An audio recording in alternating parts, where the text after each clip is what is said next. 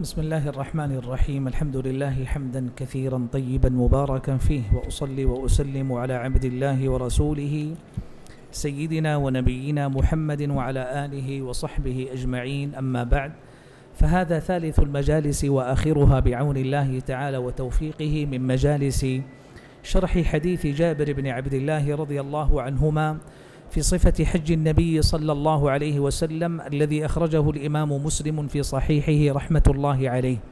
وقد وقف بنا الحديث البارحة عند قول جابر رضي الله تعالى عنه في وصف حج النبي صلى الله عليه وسلم وأنه لما انتهى من طوافه عليه الصلاة والسلام وصلى ركعتي الطواف وقرأ فيهما بقل هو الله أحد وقل يا أيها الكافرون قال ثم رجع إلى الركن فاستلمه ثم خرج من الباب إلى الصفا. وقوله ثم خرج من الباب إلى الصفا هو كما قر كما تقدم في مجلس البارحة شروع في السعي بعد تمام الطواف. لكن قول جابر رضي الله عنه ثم خرج من الباب أي باب؟ من باب المسجد الحرام؟ وهل الصفا خارج المسجد؟ بلى وهو كذلك. وإلى وقت قريب كان المسعى خارج المسجد الحرام وجدران المسجد وأبوابه منفصلة عنه. فكان الذي يقصد الصفا خارجا من المطاف يخرج من المسجد ويأتي المسعى. ولهذا يمر بكم في كلام الفقهاء أنه لا بأس على الحائض أن تأتي المسعى لأنه ليس بمسجد وهو خارجه. وإلى اليوم ترون بناء المسعى لا يزال مفصولا بجدار وإن كانت هناك طرقات تفتح من خلاله وأثناءه إلى المسجد الحرام. لكن حرصا على جملة من الأحكام المتقررة بالمسعى. وأما الصلاة فيه فمن أجل اتصال الصفوف كما يحصل خارج المسجد الحرام مع الجماعة الممتدة إذا اتصلت الصفوف صحت الجماعة. فقوله ثم خرج من المسجد ثم خرج من الباب يعني من باب الصفا. الذي يخرج به الحاج أو المعتمر من المسجد الحرام يقصد المسعى. بل كان المسعى إلى وقت ليس ببعيد. أدركه أهل مكة أنه كان ذا طريق تمشي فيه السيارات وفيه الأسواق والمحلات فكان خارجا عن المسجد تماما ولا تشمله أحكامه. نعم ثم خرج من الباب إلى الصفا. بسم الله الرحمن الرحيم. الحمد لله رب العالمين والصلاة والسلام على أشرف الأنبياء والمرسلين نبينا محمد وعلى آله وصحبه أجمعين. قال رحمه الله في حديث جابر عن النبي صلى الله عليه وسلم فلما دنا من الصفا قرأ إن الصفا والمروة من شعائر الله أبدأ بما بدأ الله به فبدأ بالصفا. فرقي عليه حتى رأى البيت فاستقبل القبلة فوحد الله وكبره وقال لا إله إلا الله وحده لا شريك له له الملك وله الحمد وهو على كل شيء قدير. لا إله إلا الله وحده أنجز وعده ونصر عبده وهزم الأحزاب وحده ثم دعا بين ذلك. قال مثل هذا ثلاث مرات. نعم. هذا بداية سعيه عليه الصلاة والسلام. وكل ما سمعت في وصف هذا السعي سنة لك أيها الحاج والمعتمر أن تفعله كلما كتب الله لك حجا أو عمرا. ماذا فعل؟ اسمع رعاك الله. قال ثم خرج من الباب إلى الصفا فلما دنا من الصفا وهو أحد الجبلين اللذين نسعى بينهما الصفا والمروة. قال فلما دنا من الصفا من الجبل وهو في طريقه إلى صعوده عليه الصلاة والسلام قرأ الآية في البقرة إن الصفا والمروة من شعائر الله فمن حج البيت أو اعتمر فلا جناح عليه أن يطوف بهما ومن تطوع خيرا فإن الله شاكر عليم أبدأ بما بدأ الله به. هذا لفظ حديث جابر عند مسلم. وفي لفظ آخر في الحديث من رواية ابن عمر أخرجها النسائي والدار قطني قال ابدأوا بما بدأ الله به بصيغة الأمر وعلى كل حال فيسن لي ولك إذا أتينا المسعى أن نقرأ الآية ونحن في طريقنا إلى الصفا مبتدئين أول أشواطها السبعة فتقول إن الصفا والمروة من شعائر الله وتقرأ الآية. قوله صلى الله عليه وسلم أبدأ بما بدأ الله به هو تعليم لنا أمة الإسلام في الامتثال للقرآن. هو تماما كقراءته الآية لما أتم الطواف واتجه ليصلي الركعتين خلف المقام. ماذا قرأ؟ قرأ واتخذوا من مقام إبراهيم مصلى. وهكذا يعلمنا صلى الله عليه وسلم كيف نجعل من القرآن منهجا نعمل به. فقوله أبدأ بما بدأ الله به يعني سنبدأ بالسعي بما بدأ الله به في الآية فقال إن الصفا والمروة. فلما بدأت الآية بالصفا بدأ سعيه عليه الصلاة والسلام بالصفا. ولهذا تقرر عند الفقهاء أن السعي سبعة أشواط تبدأ بالصفا وتنتهي بالمروة. فمن بدأ بالصفا كان شوطه الأول منتهيا إلى المروة. وكان شوطه الثاني منتهيا إلى الصفا حتى يكون السابع منتهيا بالمروة كما سيأتي ذكره بعد قليل. فمن أخطأ وبدأ بالمروة فإن شوطه الأول غير معتبر. فإن شوطه الأول غير معتبر ويلغى. ويكون شوطه الثاني الذي سيكون من الصفا إلى المروة هو الأول. ويزيد شوطا في آخره. وبعض الحجيج يخطئ فيظن الحساب. من الصفا إلى المروة ذهابا ثم من المروة إلى الصفا إيابا يحسبه شوطا واحدا. فيكون مجموع سعيه كم؟ أربعة عشر شوطا. فمثل هذا لو جاء يسأل سنقول له صح سعيك بالسبعة الأشواط الأول والزائدة لاغية ولا إثم عليك لأنك ما قصدت الخطأ في العبادة. فسعى صلى الله عليه وسلم. قال حتى رأى البيت بدأ بالصفا. فرقي عليه يعني صعيده. هل يسن صعود جبل الصفا؟ نعم من صعد جبل الصفا ولو في بداياته أجزأه ولا يلزم الصعود إلى أعلى الجبل. وليس ذلك بحتم حتى لا يشق على الناس حتى رأى البيت فاستقبل القبلة. وهذه سنة. إذا أتيت إلى الصفا تتجه إلى الكعبة. وقد لا يتاح لك مع البنيان والأعمدة أن تراها من كل النواحي. فإذا ما رأيتها حسبك أن تتجه إليها مستقبلا القبلة ثم تفعل ما فعل عليه الصلاة والسلام. ماذا فعل؟ فوحد الله وكبره. يعني قال الله أكبر مكبرا. وهكذا تفعل في كل شوط. تستقبل الكعبة وأنت على الصفا وتستقبلها وأنت على المروة ترفع يدك وتكبر. وتهلل الله موحدا. هذه الجمل من السنة حفظها لقولها في سعينا عند الصفا والمروة. لا إله إلا الله وحده لا شريك له له الملك وله الحمد وهو على كل شيء قدير. لا إله إلا الله وحده أنجز وعده ونصر عبده وهزم الأحزاب وحده. جملة ليست بالطويلة. إذا حفظتها ستقولها في كل سعي على رأس كل شوط عند الصفا وعند المروة ستقول هذا الدعاء ثلاث مرات وتدعو بين كل مرة ومرة.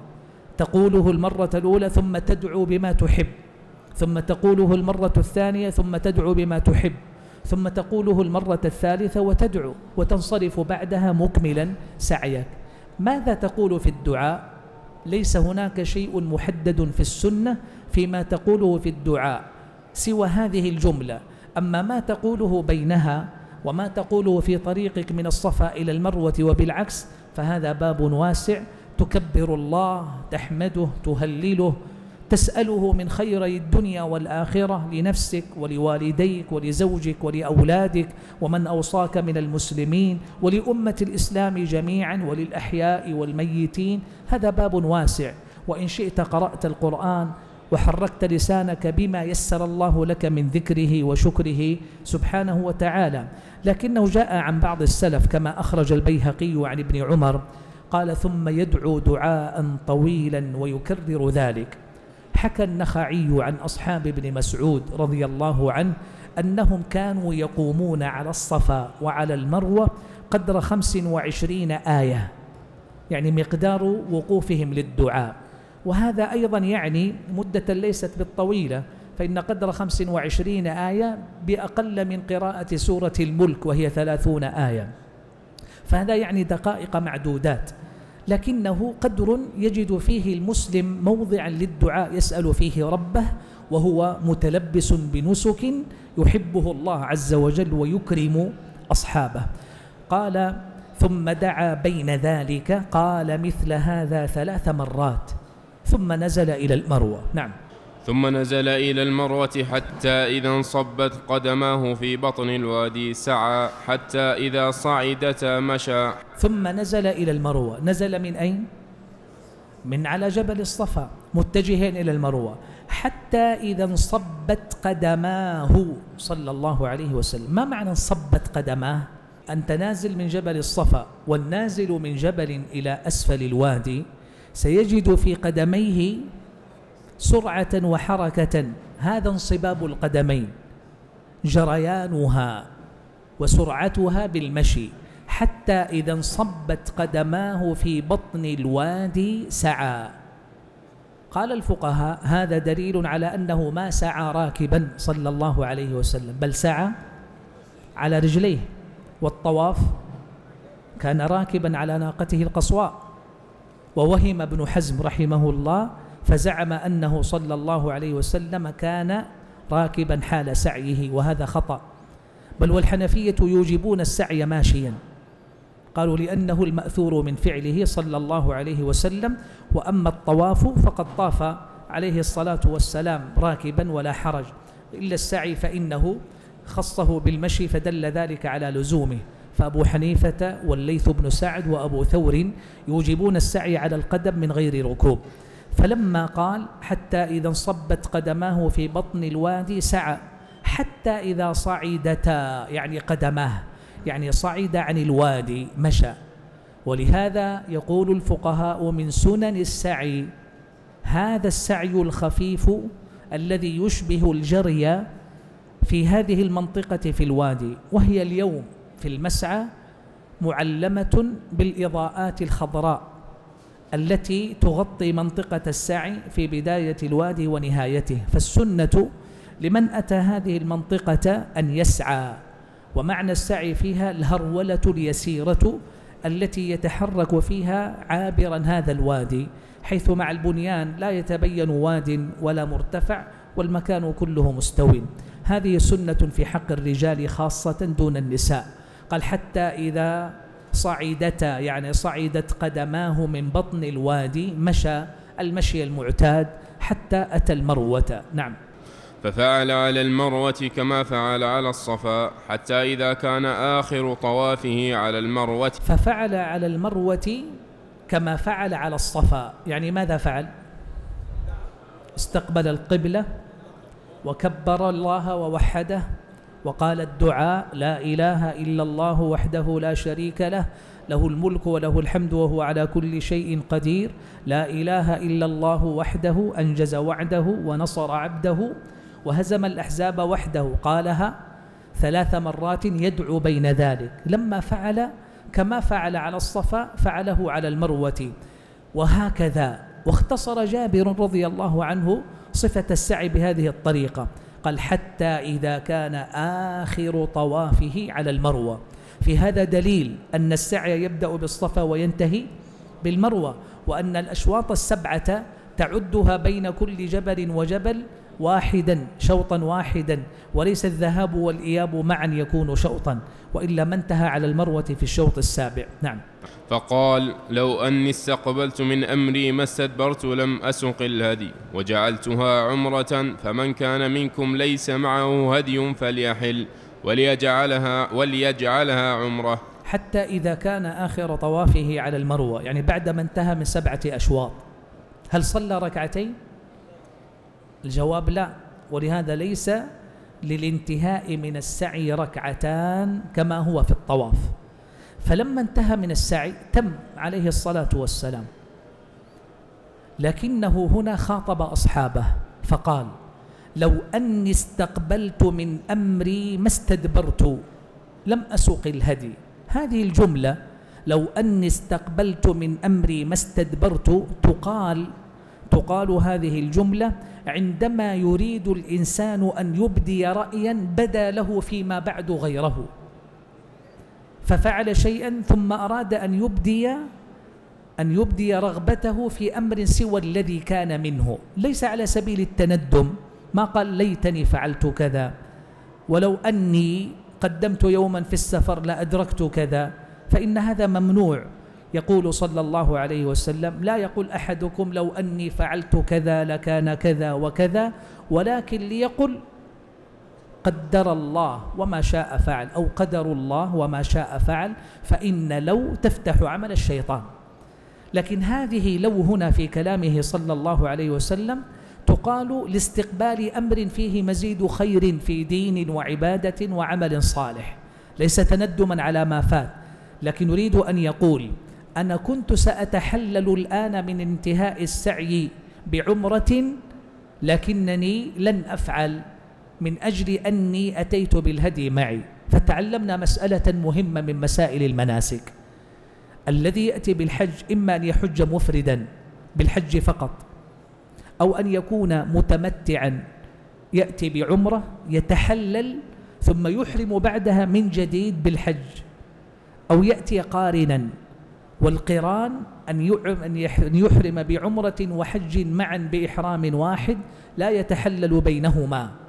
والنبي عليه الصلاة والسلام بعدما أتم الطواف والسعي قال لأصحابه تحللوا وأمرهم أن يجعلوها عمرة. في مطلع الحديث جابر رضي الله عنه في الميقات ماذا قال؟ قال لسنا نعرف إلا الحج لسنا نعرف العمرة. يعني هم من الميقات ما كان أحد منهم نوى العمرة. فما الذي حصل الآن؟ يأمرهم صلى الله عليه وسلم أن يفسخوا نية إحرامهم بالحج إلى العمرة. وهل يصح هذا؟ الجواب نعم. طيب حتى لو أتيت أنا من الميقات وكنت ناويا الحج فقط ثم جئت مكة في اليوم الثالث من ذي الحجة الرابع الخامس ووجدت أنه معي متسع من الأيام ويشق علي أن أبقى محرما فأردت أن أجعلها عمرة وأتحلل ثم أحرم بالحج مرة أخرى. هل يصح لي ذلك وأنا لم أنوها من الميقات؟ الجواب نعم. قال الإمام أحمد رحمه الله صح فيه عن بضعة عشر صحابيا. هذه الرواية. وهذا يدلنا على فائدة جليلة أن أحدنا ربما جاء إلى الميقات في الحج ونوى الحج فقط. فلما جاء مكة وأتم الطواف والساعي نصحه بعض رفاقه أو هو بدا له أن يغير نيته. هل يصح؟ الجواب نعم. لأن هذا انتقال إلى الأعلى والأفضل في النسك. كنت تنوي الحج فقط والآن سيكون لك عمرة وحج وهذا أعلى درجة وأكثر عملا. قال عليه الصلاة والسلام لو أني استقبلت من أمري ما استدبرت لم أسوق الهدي وجعلتها عمرة. يعني كنت مثلكم سأفعلها عمرة لكنني لا أستطيع. لما؟ من أجل سوق الهدي. هذه فائدة ثانية. من ساق الهدي معه من خارج مكة ودخل به مكة حتى لو أراد التمتع لا يجوز له التمتع وسيبقى محرما على إحرامه. ما الذي يمنعه من التحلل؟ سوق الهدي. قال لو أني استقبلت من أمري ما استدبرت لم أسق الهدي. فإذا لأنه ساق الهدي صلى الله عليه وسلم فلن فلن يتحلل بعمرة وسيبقى محرما. سيبقى محرما مفردا أو قارنا. على خلاف بين الفقهاء ولعل الراجح إن شاء الله أنه كان قارنا. صلى الله عليه وسلم لأن المفرد لا يلزمه الهدي ولا يجب عليه. تنبيه أخير بعض الحجيج يفضل حج الإفراد على التمتع والقران لسبب واحد أنه لا يجب عليه فيه الهدي والهدي مكلف وربما هو من فقره لا يجد قيمة الهدي. فمثل هذا نقول له ما ينبغي لك ذلك لأن الأمر فيه سعة وخطأ يا كرام أن ننظر إلى هدي التمتع أنها زيادة تكاليف وأنها زيادة نفقة ومصروف بل هي زيادة عبادة. ثم يسر الله علينا والذي لا يجد الهدي قال الله عز وجل فمن لم يجد فصيام ثلاثة أيام في الحج وسبعة إذا رجعتم وهذا فيه سعة تلك عشرة كاملة. فنقول لهذا الحاج حجك بالتمتع أولى فإن كان عذره الهدي سنقول له صيام ثلاثة أيام في الحج وسبعة بعد الرجوع تقوم مقام الهدي بدلا عنه إن كنت لا تستطيع. يقول صلى الله عليه وسلم آمرا أصحابه فمن كان منكم ليس معه هدي فليحل يعني يعني يحلق شعره ويقصر ويتحلل. قال وليجعلها عمرة كانت هذه دهشة للصحابة. لما؟ لأنهم ما, ما عهدوا ذلك ولا عرفوه قبل الإسلام. بل مر بكم أنهم عند الإحرام من الميقات يقول جابر لا نعرف العمرة لسنا ننوي إلا الحج. وكانت العرب ترى العمرة في أشهر الحج فجورا بل من أفجر الفجور. فجاء الإسلام فأبطل هذا. وأقر مشروعية العمرة ولهذا بوسع المسلم لو جاء في أشهر الحج شوال ذو القعدة بل حتى اليوم بل إلى يوم عرفة لو جاء وقال أريد الاعتمار والانصراف يجوز؟ نعم يجوز له ذلك فإن جمع بين العمرة والحج كان متمتعا والمقصود أنه صلى الله عليه وسلم أمرهم أن يجعلوها عمرة شق ذلك على الصحابة واستعجبوا فأبدى لهم عذره قال لولا أني سقت الهدي لأحللت معكم ولجعلتها عمرة ومدبها أصحابه فمن ساق الهدي فلا يحل. من كان معه الهدي فلا فيبقى على إحرامه ولا يجوز له التحلل. وأما من لم يسق الهدي فليتحلل. عجب الصحابة إلى درجة أنهم سألوا قالوا يا رسول الله أي الحل؟ طيب سنتحلل. نتحلل من ماذا؟ من لبس المخيط؟ ننزع الإزار والرداء أو هو الطيب أو هو إتيان النساء والجماع. قالوا يا رسول الله أي الحل؟ قال الحل كله. فقالوا يا رسول الله ننصرف إلى منى وذكر أحدنا يقطر يعني يجوز للمحرم بين العمرة والحج أن يجامع زوجته وهو جاء للحج؟ فقال النبي صلى الله عليه وسلم نعم. ولهذا سمي هذا النسك تمتعا لأنه يتمتع فيه الحاج بكل ما كان محظورا عليه حال الإحرام وهو أعلى درجات النسك عند جمهور الفقهاء وأفضله لجمعه بين هذين النسكين الحج والعمرة. قال صلى الله عليه وسلم فمن كان منكم ليس معه هدي فليحل وليجعلها عمرة. نعم. وقام سراقة بن مالك بن جعشم فقال يا رسول الله ألعامنا هذا أم لأبد؟ فشبك رسول الله صلى الله عليه وسلم أصابعه واحدة في الأخرى وقال دخلت العمرة في الحج مرتين لا بل لأبد أبد. قام سراقة بن مالك بن جعشم سراقة بن مالك صاحب القصة الشهيرة في ملاحقة النبي صلى الله عليه وسلم في قصة الهجرة من مكة إلى المدينة وهو الوحيد الذي ظفر بهما في الطريق. ولما أقبل فكان من الله معجزة وآية أن ساخت قدم فرسه في التراب في الأرض. ثم لما أيقن الهلاك أعلن أعلن أنه لن يؤذي رسول الله صلى الله عليه وسلم. وبشره حينها عليه الصلاة والسلام بلبسه سواري كسرى.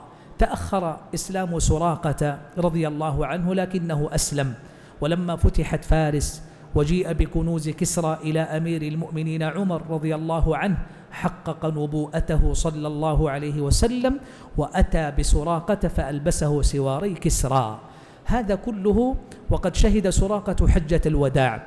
قام سراقة وقد سمع هذا الكلام ورأى هذا التوجيه الإسلامي الجديد أنه يجوز الإحرام بعمرة وأن يفسخ نية الحج إلى عمرة. فقال يا رسول الله ألعامنا هذا أم لأبد؟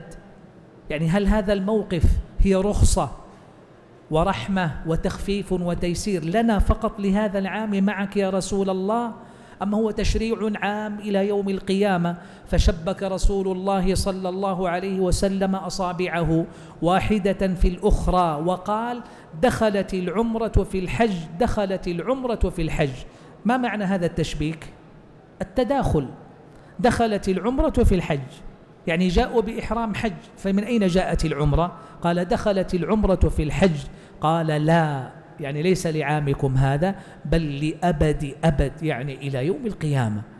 ولهذا قال الفقهاء هذا الحكم مشروع قائم لأمته صلى الله عليه وسلم دائما. نعم. وقدم علي من اليمن ببدن النبي صلى الله عليه وسلم فوجد فاطمة رضي الله عنها ممن حل ولبست ثيابا صبيغا واكتحلت فأنكر ذلك عليها فقالت إن أبي أمرني بهذا. قال فكان علي يقول بالعراق فذهبت إلى رسول الله صلى الله عليه وسلم محرشا على فاطمة للذي صنعت مستفتيا لرسول الله صلى الله عليه وسلم فيما ذكرت عنه. فأخبرته أني أنكرت ذلك عليها فقال صدقت صدقت ماذا قلت حين فرضت الحج؟ هذه قصة أمير المؤمنين علي رضي الله عنه وهو الذي تقدم معنا أنه لم يرافق رسول الله صلى الله عليه وسلم في خروجه من المدينة. لما؟ لأنه كان باليمن مع أبي موسى يأتيان بالهدي إلى مكة. فالتقى برسول الله صلى الله عليه وسلم في مكة. في هذا الموضع بعد أن تحلل الصحابة بعمرة ومنهم زوجه فاطمة رضي الله عنها. جاء علي قدم من اليمن ببدن النبي صلى الله عليه وسلم يعني بالإبل التي ساقها من اليمن. فوجد فاطمة رضي الله عنها ممن حلا فتعجب علي. ما وجه التعجب؟ أيضا على ما استقر عنده فيما كانت العرب عليه أن هذا لا ينبغي. كيف وقد أحرموا بالحج معه عليه الصلاة والسلام؟ وجدها ممن حل. ولبست ثيابا صبيغا واكتحلت. يعني أخذت زينتها كاملة.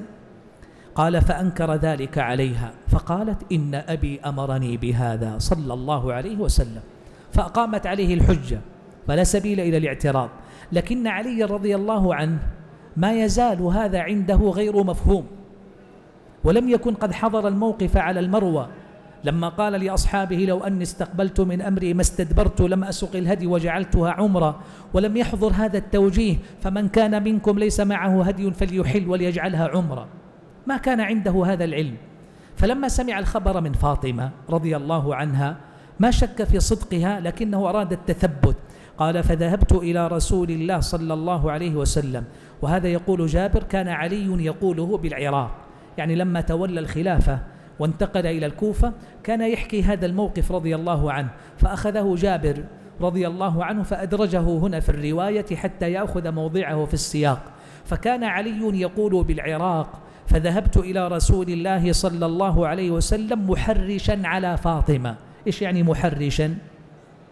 جاء يشكوها يعني انظر ماذا فعلت. أخطأت فعلت كذا للذي صنعت كيف لبست الصبيغة كيف تكتحل. كيف تتجرد من لباسها وتلبس ثياب الزينة كما تفعل المرأة لزوجها؟ فقال صلى الله عليه وسلم صدقت صدقت. يعني فيما أخبرتك به وأني أنا الذي أمرتها. السؤال علي رضي الله عنه الآن جاء محرما من اليمن وهو الآن سيتوجه بتوجيه النبي صلى الله عليه وسلم فسأله ماذا قلت حين فرضت الحج؟ يعني ماذا نويت في الميقات؟ حتى يتنزل عليه الحكم. هل نوى العمرة أو نوى الحج؟ والغالب أن الصحابة لا ينوون إلا الحج لأنهم لا يعرفون العمرة. لكن علي رضي الله عنه كان له جواب بديع. ما قال نويت الحج ولا قال نويت العمرة. قال ماذا قلت حين فرضت الحج؟ نعم. قال ماذا قلت حين فرضت الحج? قال قلت اللهم إني أهل بما أهل به رسولك. قال فإن معي الهدي قال فإن معي الهدي فلا تحل. قال قلت اللهم إني أهل بما أهل به رسولك صلى الله عليه وسلم. هذا الذي تقدم ذكره مرارا في مجلس الأمس وقبل الأمس من المبدأ الكبير الذي استقر في نفوس الصحب الكرام رضي الله عنهم. ما هو؟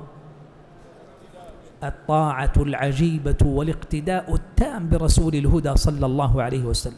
حتى وإن كان غائبا جعل نيته في الإحرام معلقة بنية رسول الله صلى الله عليه وسلم. عجيب هذا الصنيع وأبو موسى أيضا صنع مثل ذلك. حتى قال له النبي صلى الله عليه وسلم أحسنت. وهنا قال لعلي فإن معي الهدي فلا تحل. ألم تقل إني أهل بما أهل به رسولك؟ وها أنا ذا سقت الهدي فلن أحل فأنت مثلي. لما؟ طيب هل ساق علي الهدي؟ لا كيف نعم؟ ساق الهدي له أو لرسول الله صلى الله عليه وسلم؟ علي وكيل مندوب. ذهب فأحضر الهدي من اليمن. الهدي لمن؟ لرسول الله صلى الله عليه وسلم. وعلي إذا ليس معه هدي. إذا كان ينبغي أن يتحلل أو لا يتحلل. يتحلل لأنه ليس معه هدي. لكن هذه منقبة لعلي. أشركه النبي صلى الله عليه وسلم في الهدي معه. وأعطاه حكمه فقال فإن معي الهدي يعني وأنت معي فلا تحل. لاحظ ما صنع هذا لابنته فاطمة رضي الله عنها وجعلها تحل من إحرامها. لكنه قال لعلي فإن معي الهدي فلا تحل. قال العلماء هذه من مناقب أمير المؤمنين علي بن أبي طالب رضي الله عنه وأرضاه. وفي الحديث أيضا حكم فقهي يجوز للرجل أن يعلق الإهلال في التلبية ومعنى تعليقه كما قال علي يعني قد يحج الرجل مع أبيه أو مع شيخه وليس معه في الميقات فيقول اللهم إني أهل بما أهل به فلان فتكون النية معلقة. فإذا جاء مكة قبل أن يبدأ في النسك يتبين ما الذي علق به إحرامه. فإن كان تمتعا أو قرانا أو إفرادا وجه للذي علق به إحرامه عليه. نعم. قال فكان جماعة الهدي الذي قدم, قدم به علي من اليمن والذي أتى به النبي صلى الله عليه وسلم مئة. نعم فكان جماعة الهدي يعني مجموع الهدي الذي اجتمع للنبي صلى الله عليه وسلم فيما ساق هو معه من المدينة وفيما قدم به علي رضي الله عنه من اليمن كم؟ كان مئة مئة من البدن اجتمعت في هديه صلى الله عليه وسلم وسيأتيك حديثه في الأخير في نحرها. نعم. قال فحل الناس كلهم وقصروا إلا النبي صلى الله عليه وسلم ومن كان معه هدي. إذا أيهما كان أكثر في الصحابة؟ المتمتع أو القارن؟ المتمتع كان أكثر. قال فحل الناس كلهم وقصروا إلا النبي صلى الله عليه وسلم ومن كان معه هدي. ما ذكرت الرواية هنا عددهم؟ لكن التعبير يشعر بأنهم أقل. لأنه قال حل الناس كلهم وقصروا. إلا النبي صلى الله عليه وسلم ومن كان معه هدي. وهذا أيضا فيه دلالة على ما كان غالبا على حياة الصحابة من الفقر والقلة. ومن ذا الذي كان معه الهدي يسوقه من المدينة أو من دياره إلى مكة. لكن الغالب عليهم رضوان الله عليهم قلة ذات اليد. نعم. فلما كان يوم التروية توجهوا إلى منى فأهلوا بالحج وركب رسول الله صلى الله عليه وسلم فصلى بها الظهر والعصر والمغرب والعشاء والفجر. فلما كان يوم التروية هذا يوم كم؟ يوم الثامن من ذي الحجة. سمي بيوم التروية لأن قريشا كانت تحمل الماء من مكة إلى منى وترتوي وربما قالوا يرتوون من الماء. بمكة صعودا إلى منى فعرفات حيث لم تكن المياه على وفرة آنذاك. واليوم بحمد الله توفرت السبل وتهيأت للحجيج كل الوسائل التي يحتاجونها في حجهم. فلا الماء ولا الغذاء ولا المواصلات فضلا من الله عز وجل ومنا ثم جهودا حثيثة كريمة مباركة مبذولة في هذه البلاد أيدها الله عز وجل. قال فلما كان يوم التروية توجهوا إلى منى. فأهلوا بالحج يقصد عامة من تحلل من الصحابة قال فلما كان يوم التروية توجهوا إلى منى من أين توجهوا؟ من مكة متى وصل النبي صلى الله عليه وسلم مكة من المدينة؟ في أي يوم؟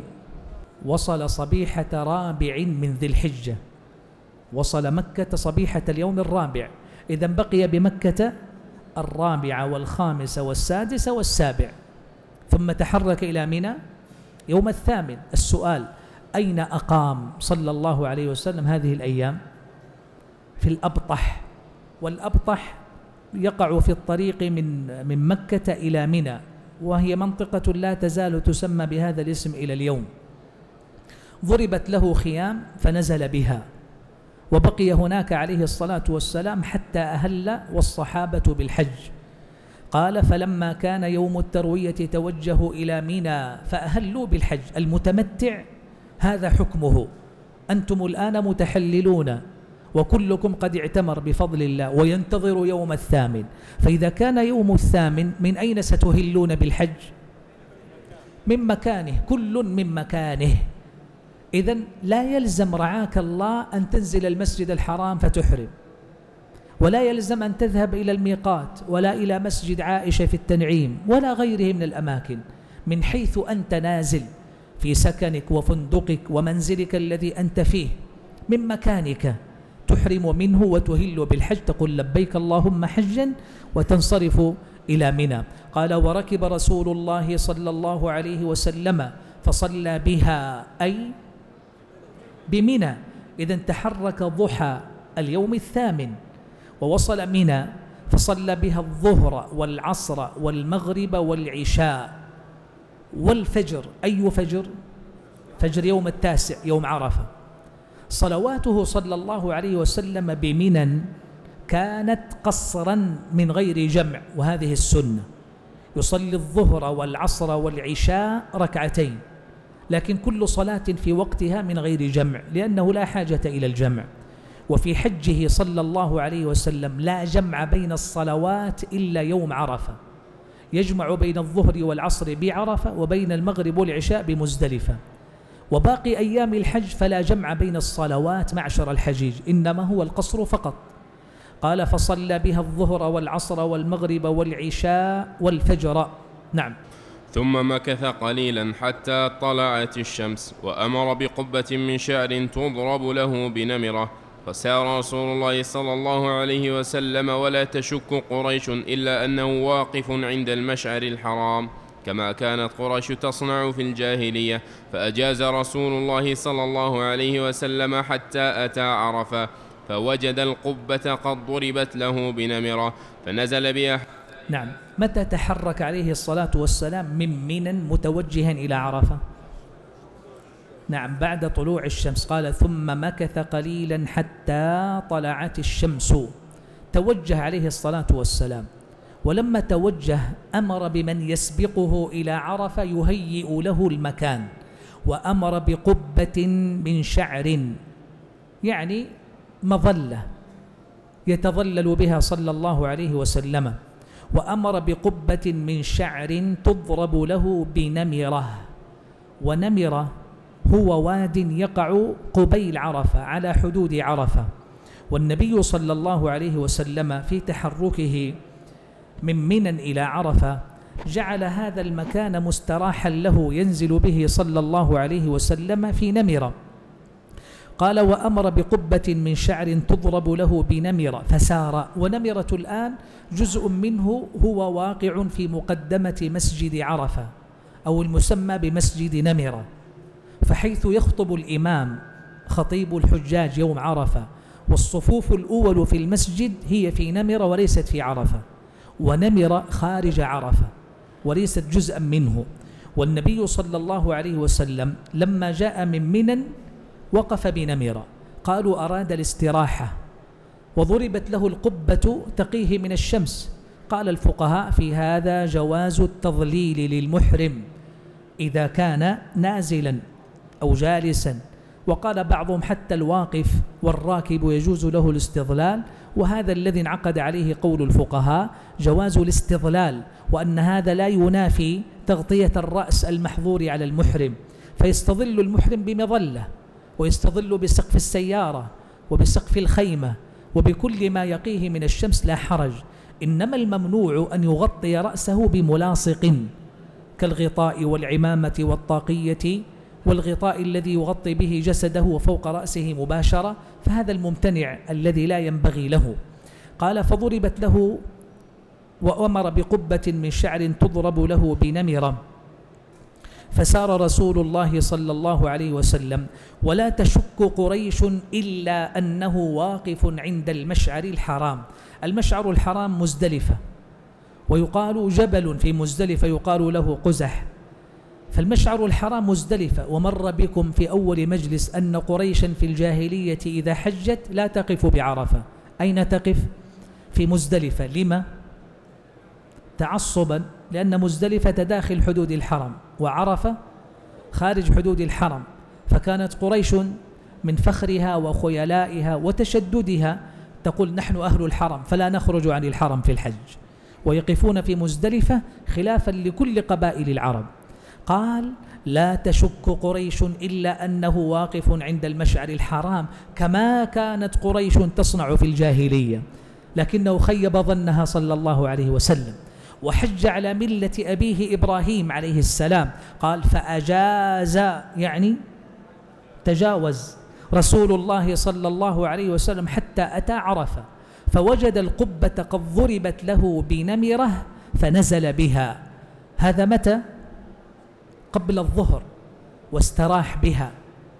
فنزل بالقبة التي ضربت له بنمرة مستريحا صلى الله عليه وسلم. نعم. فنزل بها حتى إذا زاغت الشمس أمر بالقصوى فرحلت له فأتى بطن الوادي فخطب الناس. حتى إذا زاغت الشمس يعني زالت يعني دخل وقت الظهر. لما دخل وقت الظهر دخل عرفة. قال أمر بالقصواء وهي ناقته. فرحلت له يعني ما معنى ترحيل الناقة؟ وضع الرحل على ظهرها. أولم يكن الرحل على ظهرها؟ بلى. لكنه صلى الله عليه وسلم من رأفته بالحيوان. لما نزل مستريحا بنمرة أنزل من على ظهر الناقة الرحل إراحة للدابة وتخفيفا عليها. فلما أراد الركوب ثانية أمر بها فرحلت. وضع الرحل أيضا مرة أخرى على ظهر الناقة. قال فجهزت فرحلت له فأتى بطن الوادي. أي وادي؟ وادي عرنة. بطن وادي عرنة وهو واد يمر بعرفة. والجمهور أبو حنيفة والشافعي وأحمد على أن عرنة ليس من عرفة. والحاج إذا أراد الوقوف بعرفة عليه ألا يكون ببطن هذا الوادي. واستدلوا بحديث السنن في قوله صلى الله عليه وسلم وعرفة كلها موقف وارفعوا عن بطن عرنة. إيش يعني ارفعوا عن بطن عرنة؟ لا تقفوا بها. قال الجمهور عرن ليس من عرفة والحاج إذا وقف بعرن عليه أن ينتقل إلى داخل عرفة. وقال الإمام مالك رحمه الله بل عرن جزء من عرفة. واستدل بالحديث نفسه كيف؟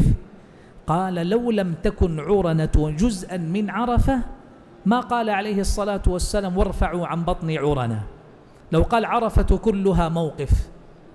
وإذا كانت العرب تعرف أن عرنة ليست من عرفة ألم يكفي قوله عرفة كلها موقف؟ كان يكفي. فلماذا يقول وارفعوا عن بطن عرنة؟ قال لأن عرنة جزء من عرفة. لكنه موطن مفضول والأفضل ألا يقف به. لكن لو وقف به الحاج صح عند مالك حجه وعند الجمهور لا يصح. وبعض المالكية يصحح الحج ويوجب الدم لأنه عليه الصلاة والسلام قال ارفعوا عن بطن عرنا. على كل حال فالأحوط وهو الذي عليه إجراءات الحج اليوم وتحديد علامات حدود عرفة إخراج عورنة عن حدود عرفة احتياطا وأسلم للحجيج وأن يكون حجهم جميعا داخل عرفة في الوقوف بها. قال فخطب الناس. ستسمع الآن جزءا من خطبة النبي صلى الله عليه وسلم التي ألقاها على مسامع الحجيج يوم عرفة. هذه الخطبة العظيمة العصماء. أعظم خطبة في الإسلام خطبت في موسم الحج خطبته صلى الله عليه وسلم وهي كما تسمع خطبة قصيرة وجيزة لكنها عظيمة بليغة فيها جمل الأحكام وجل قواعد الإسلام. نعم. وقال إن دماءكم وأموالكم حرام عليكم كحرمة يومكم هذا في شهركم هذا في بلدكم هذا. ألا كل شيء من أمر الجاهلية تحت قدمي موضوع ودماء الجاهلية موضوعة وإن أول دم أضع من دمائنا. دم ابن ربيعة بن الحارث. كان مسترضعا في بني سعد فقتلته هذيل وربا الجاهلية موضوع وأول ربا أضع ربانا ربا عباس بن عبد المطلب فإنه موضوع كله. فاتقوا الله في النساء فإنكم أخذتموهن بأمان الله واستحللتم فروجهن بكلمة الله ولكم عليهن ألا يوطئن فرش فرشكم أحدا تكرهونه.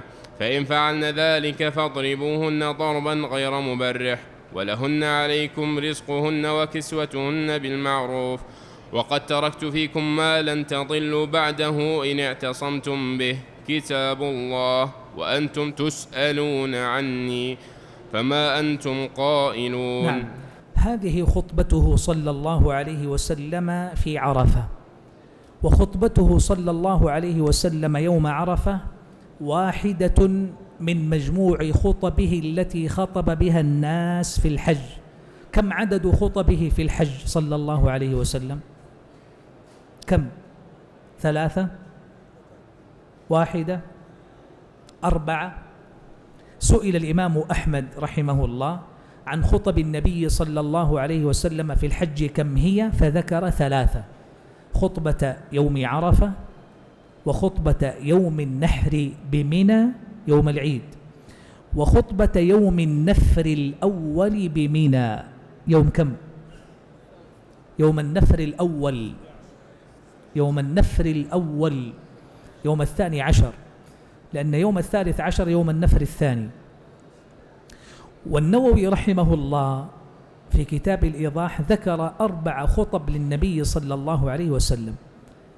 ذكر الثلاثة المذكورة عن أحمد خطبة يوم عرفة ويوم العيد ويوم الثاني عشر.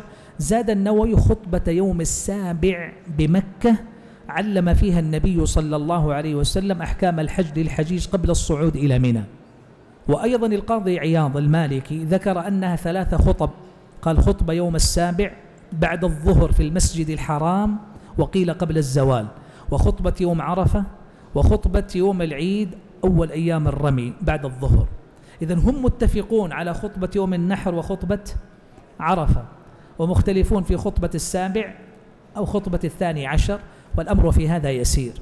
هذا التفات منه صلى الله عليه وسلم إلى استغلال مجامع الناس العظيمة لتوجيه جمل الإسلام وأحكامه العظام. السنة في مثل هذه الخطب تقصيرها وإيجازها. ليش؟ لأن الخطب العظيمة كلما كانت أقصر وأوجز كانت أوعى للسامع. فإذا طالت أنسى آخرها أولها. فهذه خطبه صلى الله عليه وسلم وهي أبلغ وأعظم. تلحظون شيئا آخر. في الخطبة ما ذكر أركان الإسلام؟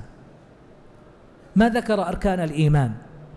ما ذكر حقوق الله الخالصة المحضة؟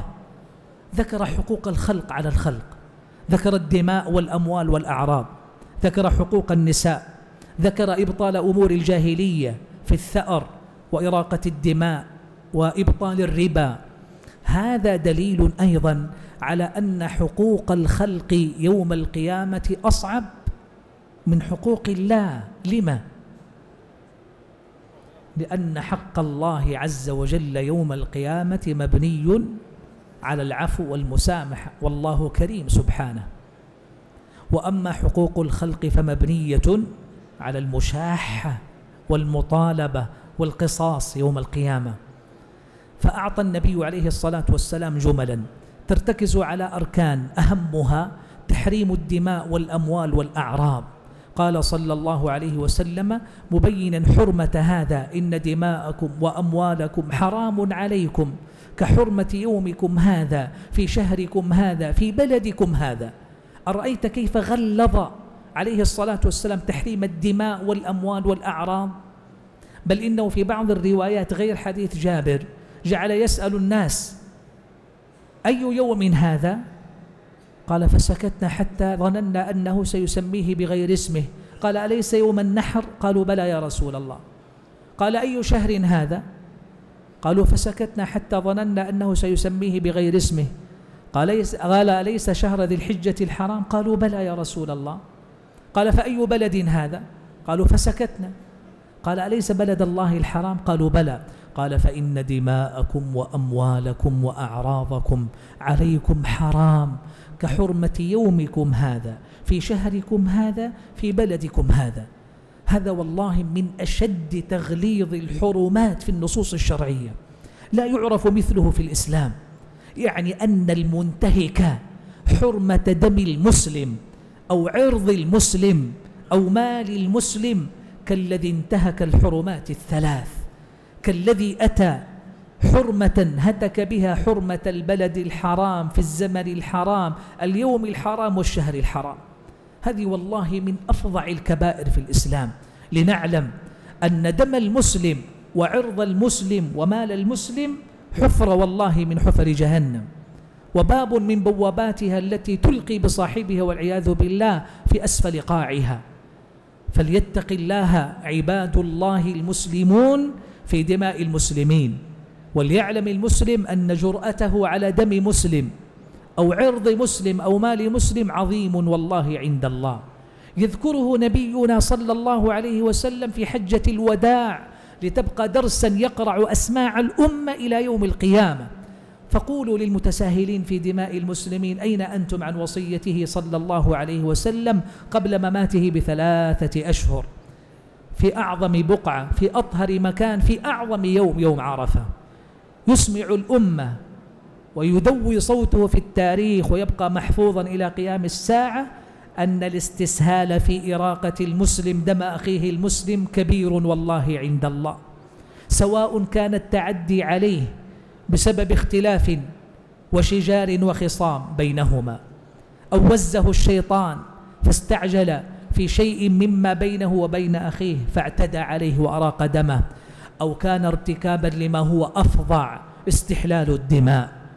وتكفير المسلمين والتعدي على دمائهم وإراقتها لشبهة تكفير وتأويل عياذا بالله. هذا والله من أفظع الحرام.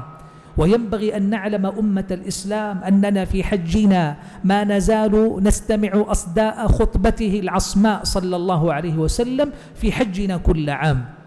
في تحريم الدماء وتحريم الأموال وتحريم الأعراض بين المسلمين. هذه حرمات عظيمة. من اقتحمها؟ هتك حرمات ربنا من فوق سبع سماوات. وإراقة دم امرئ مسلم من الكبائر العظيمة عند الله. والله يقول ومن يقتل مؤمنا متعمدا فجزاؤه جهنم خالدا فيها وغضب الله عليه ولعنه وأعد له عذابا عظيما. كل هذا الوعيد حفظا لدم المسلم وعصمة له وإباق وإبقاء على هذه الحرمة الكبيرة بين المسلمين في احترام الدماء وعصمتها بين المسلمين.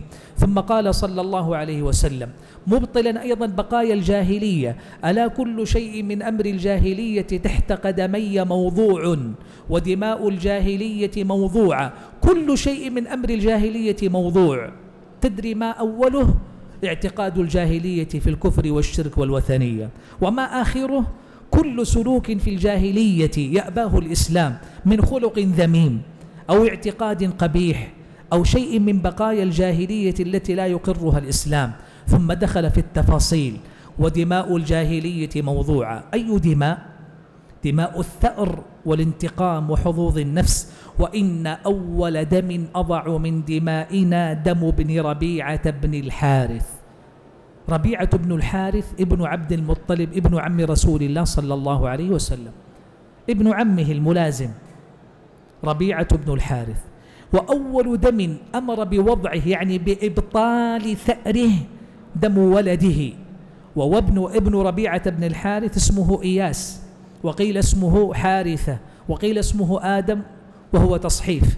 فإما إياس وإما حارث. كان طفلا يقول كان مسترضعا في بني سعد فقتلته هذيل سبب ذلك أن قريشا كما تعلمون كانوا يرسلون بأطفالهم صغارا إلى البادية يسترضعونهم هناك حتى يشب على صحة وعافية وطلاقة لسان وجرأة وقوة جنان وسائر ما لدى البادية. حتى نبينا صلى الله عليه وسلم استرضع في بني سعد عند حليمة السعدية. فكان هذا الصغير واسمه إياس بن آه، ابن ربيعة بن الحارث بن عبد المطلب كان صغيرا هناك مسترضعا. فكان صبيا يحبو فأصابه حجر في حرب كانت بين بني سعد وبين ليث بن بكر فقتله الحجر لما أصابه. وإذا قتل بين بني سعد سيطلبون ثأره أنه دم قتيل لطفل رضيع عندهم وكان هذا لا يزال مرفوعا فيه طلب الثأر. قال صلى الله عليه وسلم وإن أول دم أضع من دمائنا دم ابن ربيعة بن الحارث. لماذا بدأ بدم ابن عمه صلى الله عليه وسلم؟ تأكيدا على مصداقية ما يأمر به. وهكذا القائد العظيم عليه الصلاة والسلام إذا أمر بشيء بدأ بنفسه وأهل بيته. لما أمر بوضع الدماء أصدر حكمه بأن أول دم يوضع يعني يبطل ثأره والمطالبة به دم ابن عمه ابن ربيعة بن الحارث. وكذلك قال ورب الجاهلية موضوع. ما معنى موضوع؟ باطل كله لا يجوز التعامل به ولا المطالبة به. وأول ربا أضع ربانا ربا عباس بن عبد المطلب عمه صلى الله عليه وسلم. فإنه موضوع كله. لما انتهى من المعاملات وانتهى من الدماء والأموال بالربا انتقل إلى ركن في حياة المجتمع المسلم النساء الزوجات. قال فاتقوا الله في النساء فإنكم أخذتموهن بأمان الله واستحللتم فروجهن بكلمة الله. كلمة الله قيل هي التوحيد والإسلام لأن عقد النكاح بالإسلام. وقيل بل هي كلمة النكاح وعقد النكاح فإنه ميثاق غليظ كما قال ربنا عز وجل وقد أخذتم منهن ميثاقا غليظا قال ولكم عليهن ها هنا حقوق وواجبات. أيها الرجال أيها النساء هذا قانون وميثاق نبوي أعلنه رسول الله صلى الله عليه وسلم في حجه حجة الوداع في عشية عرفة في خطبته العصماء صلى الله عليه وسلم. قال ولكم عليهن لكم أيها الأزواج من الحقوق على الزوجات ألا يوطئن فروشكم أحدا تكرهونه. قيل معناه تحريم الزنا. وقيل بل المراد سوى ذلك أنه لا يجوز للمرأة أن تأذن بالدخول لبيت زوجها لأحد إلا بإذنه ألا يوطئن فرشكم أحدا تكرهونه؟ قال فإن فعلن ذلك فاضربوهن ضربا غير مبرح. شرع للأزواج عقوبة الزوجات في حدود الأدب لا في حدود الانتقام ولا في حدود العقاب المؤذي الذي لا تستقيم معه مودة وحياة زوجية تسري بالمعروف بينهما. ثم انتقل إلى المقابل ولهن يعني للزوجات. عليكم أيها الأزواج رزقهن وكسوتهن بالمعروف. إكرام الزوجة مطلب وإعطاؤها حاجتها من الرزق والكسوة اللائقة بمثلها وقيد ذلك صلى الله عليه وسلم بالمعروف. ما معناه؟ بما يتعارف الناس عليه وهذا يختلف باختلاف الزمان واختلاف المكان.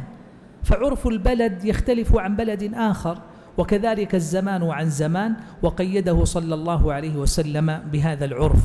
ثم ختم فقال وقد تركت فيكم ما لن تضلوا بعده إن اعتصمتم به. كتاب الله.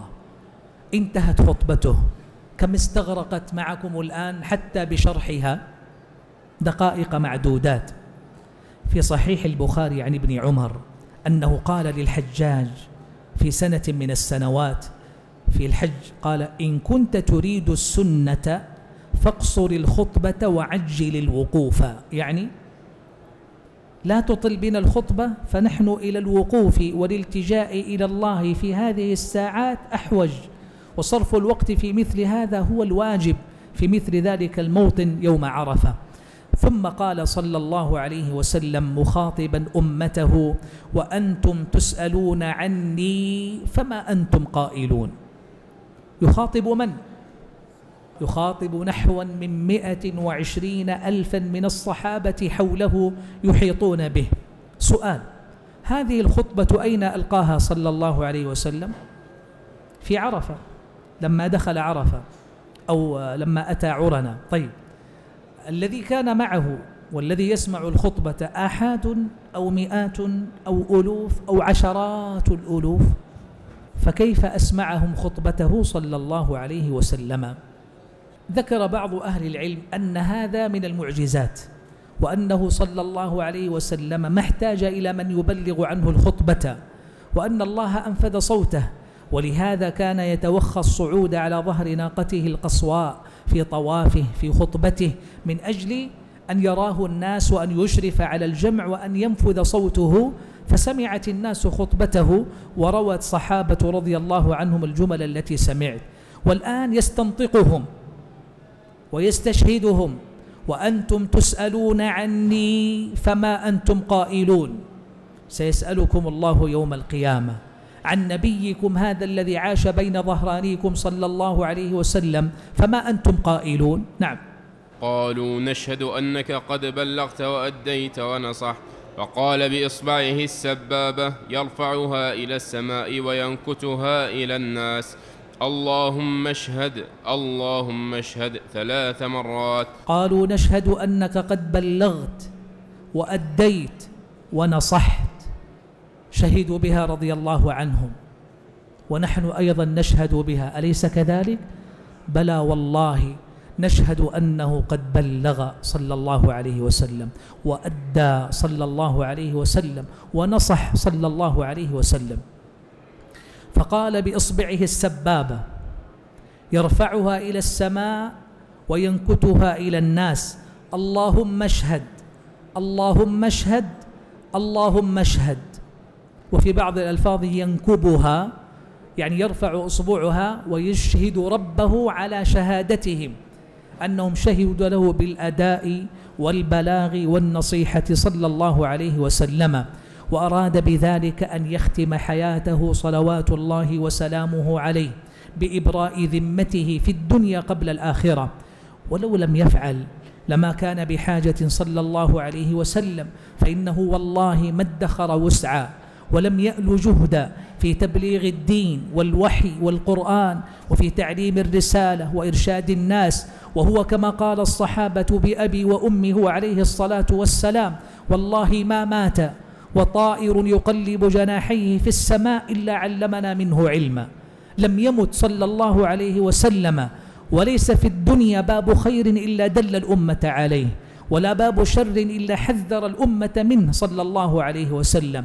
علمنا كل خير نحتاج إليه في دنيانا وأخرانا وحذرنا من كل شر يمكن أن يسوءنا في دنيانا وأخرانا. فصلى الله ربي وسلم وبارك عليه. ورغم ذلك كله فرغم رأفته ورحمته بأمته صلى الله عليه وسلم فإنه لم يقف دوره وبلاغه وحرصه وحبه لأمته عند حدود حياته صلى الله عليه وسلم وانتهت بوفاته عليه الصلاة والسلام. بل إنه لا يزال يدفع عن أمته ويذب عنها ويحرص عليها حتى يوم القيامة. وكلكم يعرف حديث الشفاعة والورود على الحوض وإذا بفئام من أمته يذاد عن الحوض يعني يبعد عن الحوض ويدفع عنه. فيقول مدافعا صلى الله عليه وسلم يا رب أمتي أمتي. فيقال له صلى الله عليه وسلم إنك لا تدري ما أحدثوا بعدك وأن الذي حرم من حوضه وحجب عن حوضه صلى الله عليه وسلم إنما هم من حاد عن سنته وأحدث في أمته فحرم من نيل هذا الفضل الكبير بالورود على حوضه يوم القيامة. نسأل الله العافية. والمقصود أنها جمل استنطق بها صلى الله عليه وسلم أمته في آخر أيام حياته لأنه لم يكن بين حجة الوداع ومماته سوى نحو مئة يوم لا أكثر. كان عليه الصلاة والسلام يحج بأمته واجتمع معه العدد الذي لم يجتمع مثله قط. قال ثم أذن. أي أذان؟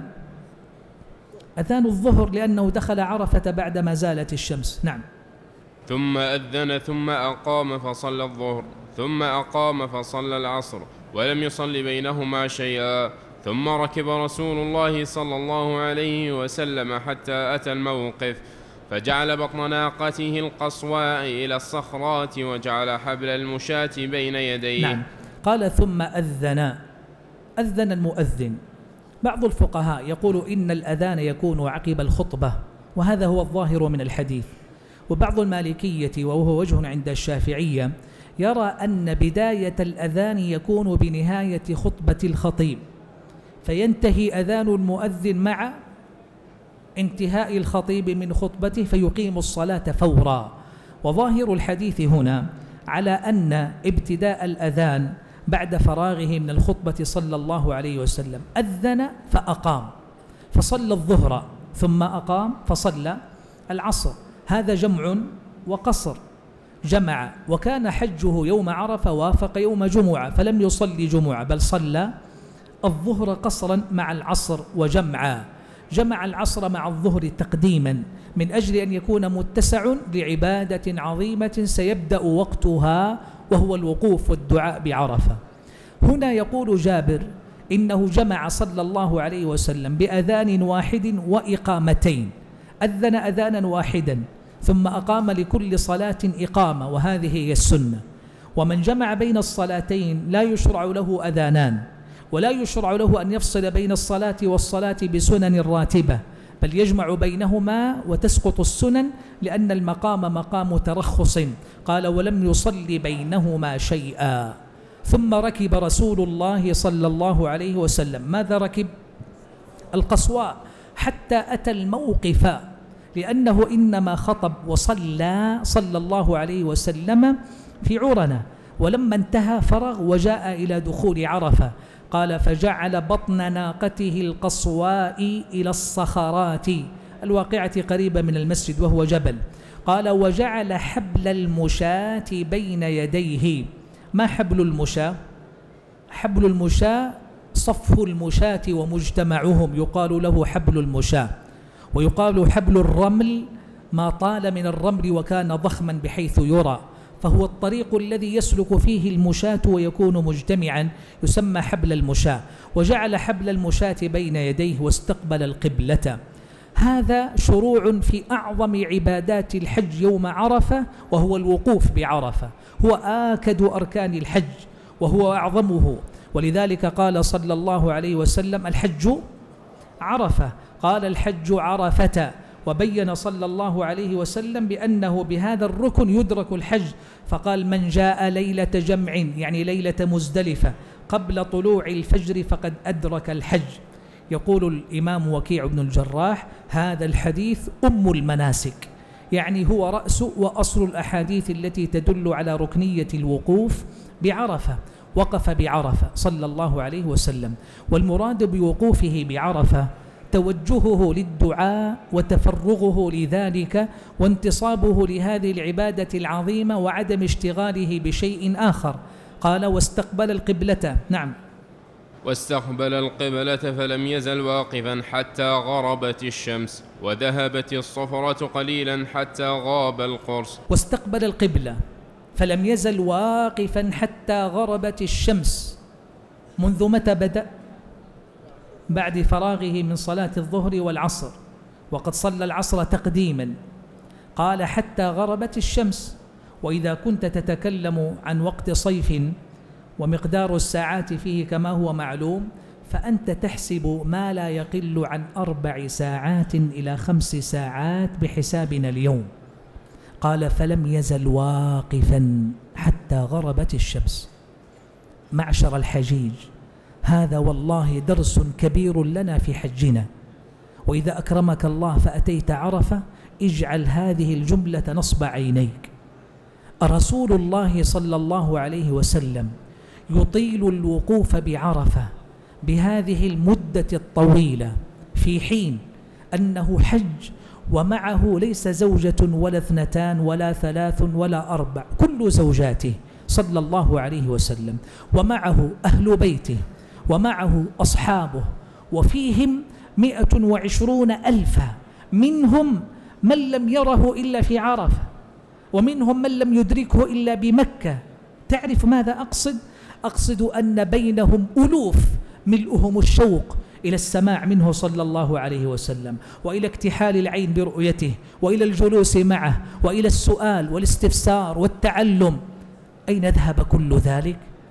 كل ذلك غاب يوم عرفة. غاب كل ذلك وحضر شيء واحد لم يزل واقفا حتى غربت الشمس.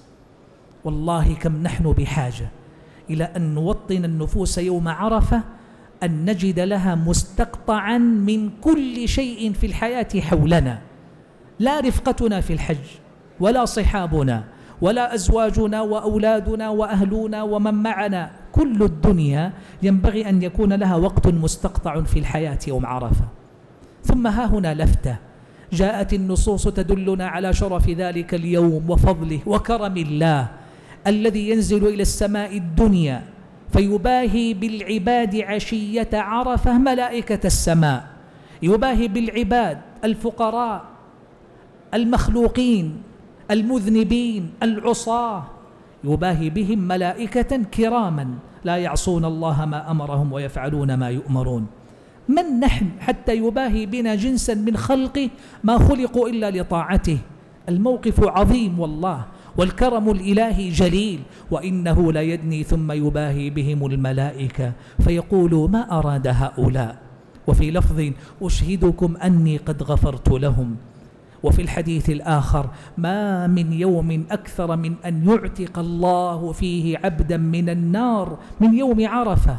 من استشعر ذلك كله والله ما هان عليه أن تمر عليه ساعة في عرفة مستلقيا يبحث عن نوم ولا صارفا للوقت فوق الحاجة مستغرقا في طعام وشراب أو بالحديث والقيل والقال مع الرفاق والأصحاب.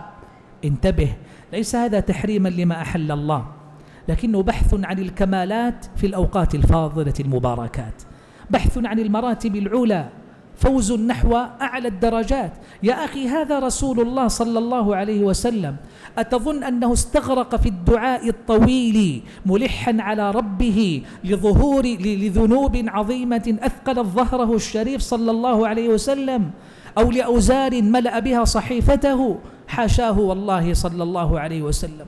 وهو القائل له ربه ليغفر لك الله ما تقدم من ذنبك وما تأخر. وقال له ربه ووضعنا عنك وزرك الذي أنقض ظهرك. طيب فماذا عني وعنك؟ أصحاب الذنوب والخطايا والتفريط والتقصير أصحاب المعاصي أصحاب الآثام أصحاب ما نعرف كل منا عن نفسه. نحن أحوج والله فما بال أحدنا إذا استقبل القبلة يوم عرفة ورفع يديه خمس دقائق نصف ساعة. وإذا بلغ الساعة شعر بالاكتفاء وأنه أفرغ كل ما في صدره وانتهى. أين أنت عبد الله؟ هذه دقائق والله شريفة وأنفاس نفيسة. ما ينبغي أن تذهب علينا سدى يوم عرفات. علينا أن نقتصد كثيرا يوم عرفات من الرفاق والصحبة والأقارب والجمع.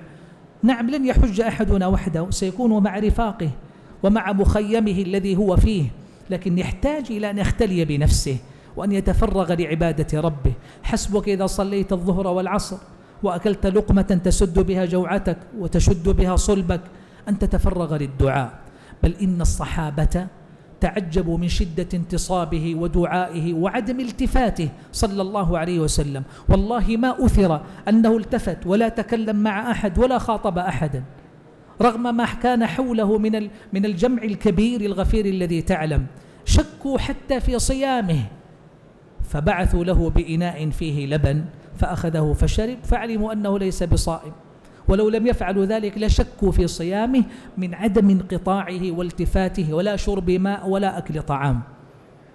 لن يشق أحد منا على نفسه فوق طاقته لكنها دعوة في يوم عرفة إذا أكرمنا الله على ذلك الصعيد الطاهر أن لا يرى الله من أحدنا إلا حرصا وإقبالا إلا فرحا واستبشارا. ربنا يباهي بنا ملائكة السماء. للعبد والله أشد فرحا بكرم ربه من فرحة ربه به في ذلك اليوم العظيم. فرحة الخلق بالخالق ماذا عساها أن تقابل به؟ إلا مزيد فرح واستبشار وصدق في الإقبال على الله. ربك كريم يفتح لك الباب ويعدك ويعطيك من عطاياه. أن يليق بك أن تكون حينها نائما معرضا منصرفا منشغلا؟ حسب أحدنا إذا أدرك هذه المعاني يوم عرف عرف كيف يعيشها في صدق إقبال والتماس لعفو الله ورضا الله ورحمة الله. نعم. وأردف أسامة خلفه ودفع رسول الله صلى الله عليه وسلم وقد شنق للقصواء الزمام حتى إن رأسها ليصيب مورك رحله ويقول بيده اليمنى أيها الناس السكينة السكينة. حتى غربت الشمس وذهبت الصفرة قليلا حتى غاب القرص. لهذا قال الفقهاء الواجب في عرفة البقاء إلى الليل فمن وقف نهارا أخذ جزءا من الليل حتى غاب القرص وليس مجرد غروب الشمس بل يأخذ جزءا من الليل مع النهار. وبعض الفقهاء يوجب الدم على من خرج قبل غروب الشمس أو خرج ولم يأخذ جزءا من الليل معه في الوقوف. قال وأردف أسامة خلفه. من أسامة؟ أسامة بن زيد الحب ابن الحب حبيب رسول الله صلى الله عليه وسلم. أردفه خلفه يعني على الدابة وها هنا معنيان لطيفان. أحدهما حفاوته صلى الله عليه وسلم بأسامة وحبه له لأنه خصه من بين أصحابه فأردفه خلفه. وهذه منقبة لأسامة أيضا. وفيه معنى آخر تواضعه صلى الله عليه وسلم. سيد البشر وإمام الخلق صلى الله عليه وسلم لا يستنكف إذا ركب البعير أن يركب واحدا خلفه من أصحابه. ولو كان من صغار الصحابة كأسامة. أسامة حين ممات النبي صلى الله عليه وسلم لم يتجاوز سنه ثمان عشرة سنة. ومع ذلك هو حبيب في قلبه صلى الله عليه وسلم فأردفه خلفه. قال ودفع رسول الله صلى الله عليه وسلم وقد شنق للقصوى الزمام حبل الناقة. شنقها يعني كان يسحبها. ماذا يريد سائس الدابة إذا شنق الحبل؟ يريد بها التمهل والتريث وعدم الاستعجال حتى إن رأسها الناقة. ليصيب مورك رحله. مورك الرحل وهو مقدمه الذي يكون مرتفعا وعاليا وربما استراح عليه الراكب فوضع قدمه عليه أو أمسك بيده عليه. قال من شدة شنقه لزمام الناقة يكاد رأسها يعني من شدة الرجوع إلى الخلف يصيب رأسها من الخلف مورك الرحل قال ويقول بيده اليمنى أيها الناس السكينة السكينة لأنهم في نسك وليس الاستعجال محمودا إلى درجة أن يؤذي الناس في استعجال يركب بعضهم بعضا كلما أتى كلما أتى حبلا من الحبال أرخى لها قليلا حتى تصعد حتى أتى المزدلفة كلما أتى حبلا من الحبال ما الحبل؟ مجمع الرمل وصعود الجبل. كلما أتى حبلا من الحبال أرخى لها قليلا حتى تصعد لأنه لو ظل يسحب زمام الناقة لم تصعد الجبل وهو يسحبها إلى الوراء. قال حتى أتى المزدلفة. نعم. فصلى بها المغرب والعشاء بأذان واحد وإقامتين ولم يسبح بينهما شيئا. ولم يسبح بينهما شيئا. ما معنى لم يسبح بين المغرب والعشاء؟ لم يذكر الأذكار ولم يصلي السنة الراتبة. هذه السنة إذن في الصلاة في مزدلفة الجمع بين المغرب والعشاء. يجمع الحاج وقت وصوله مزدلفة. فإن وصلها بعد وقت العشاء فهذه هي السنة. وإن وصل مبكرا كما لو كان في طلائع الحجيج في النفرة من عرفة فوصل في النفرة من عرفة فوصل المزدلفة مبكرا. وهذا يحصل لمن كان في طلائع الطرقات وركب السيارة أو ركب القطار.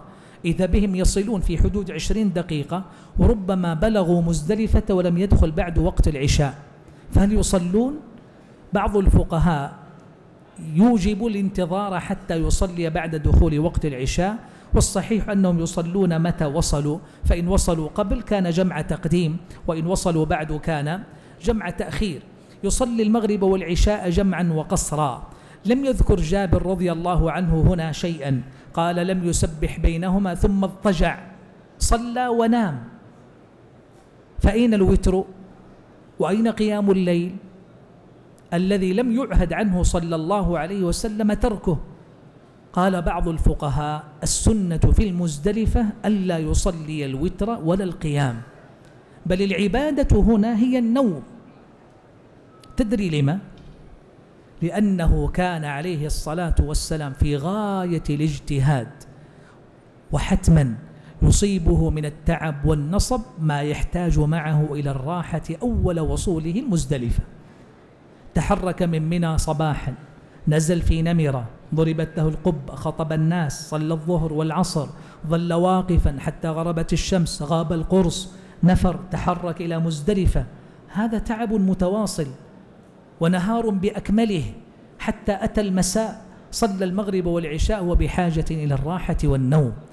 وكم هو لذيذ هذا النوم بعد تعب وإرهاق.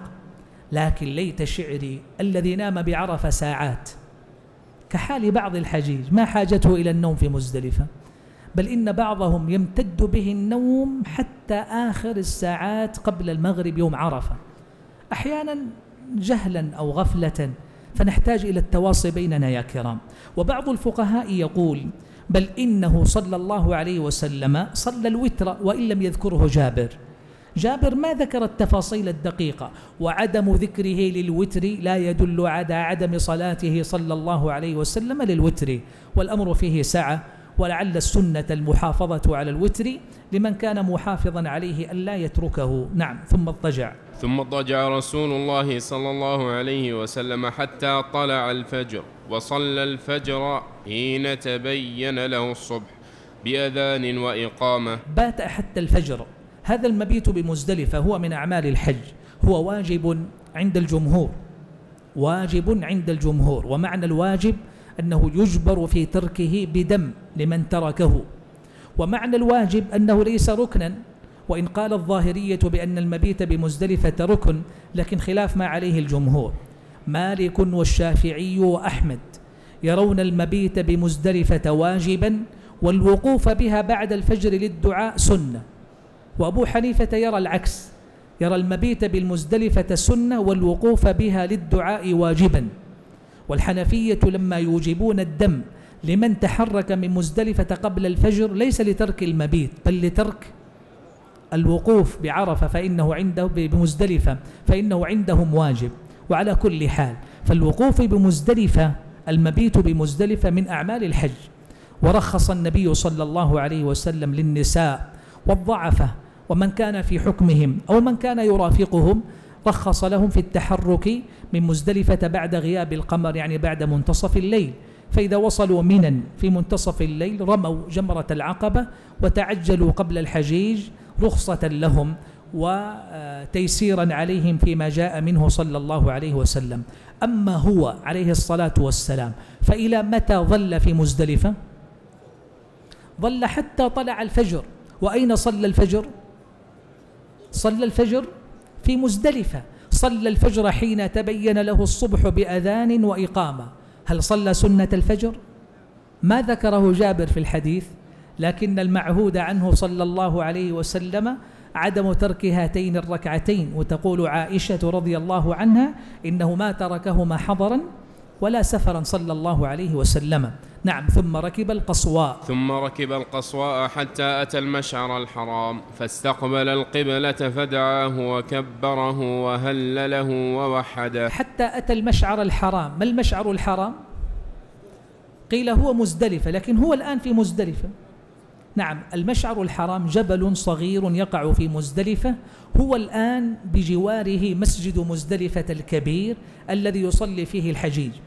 قال حتى أتى المشعر الحرام فاستقبل القبلة. هذه سنة يا كرام لمن تيسر له صلاة الفجر بمزدلفة. إن لم يأتي المشعر الحرام فمزدلفة كلها موقف حيث كان مبيتك في مزدلفة. وصليت الفجر استقبل القبلة وادعو. هذا أحد مواطن الدعاء المشروعة في الحج. تدعو بما تحب دعاء حتى يسفر الصبح جدا. ما معنى يسفر الصبح جدا؟ حتى ينتشر ضياء الصبح وقبل قبل طلوع الشمس. إذا ليس هو انتشار ضوء الشمس لا بل تبدد ظلام الليل وانتشار ضياء الصبح. نعم. قال فدعاه وكبره وهلله ووحده فلم يزل واقفا حتى أسفر جدا. يعني هي الدقائق الأخيرة قبل قبل طلوع الشمس. فدفع. فدفع قبل أن تطلع الشمس وأردف الفضل بن عباس و... ما معنى دفع؟ تحرك من أين؟ من المزدلفة. أين يريد؟ يريد منا أردف من؟ الفضل بن عباس وفي التحرك من عرفة أردف أسامة. ماذا تفهم؟ كان يوزع حبه صلى الله عليه وسلم على صحابته. يعطي هذا فرصة ويعطي هذا فرصة. أعطى الفضل بن عباس ابن عمه وأعطى أسامة بن زيد حبه وابن حبه. لكنها في الأخيرة مناقب لهؤلاء. ولك أن تتخيل أن يكون صحابي في رفقته من بين مئة وعشرين ألفا يأذن له بالركوب خلفه صلى الله عليه وسلم. هذا شرف كبير. إذا ما وجد الصحابة هذا المعنى العظيم وجدوا هذا القلب الكبير منه صلى الله عليه وسلم. فلا تعجب كيف أسر قلوبهم حبا له عليه الصلاة والسلام. هذا موقف رصده الصحابة بعرفة. لكن كم من المواقف بمكة والمدينة على مدى 23 سنة كان يقدم فيها حب القلب صلى الله عليه وسلم لصحابته؟ والله كانوا يحبونه أكثر من نفوسهم كما قال عمر. فلا أنت الآن أحب إلي من نفسي يا رسول الله. لا تعجب.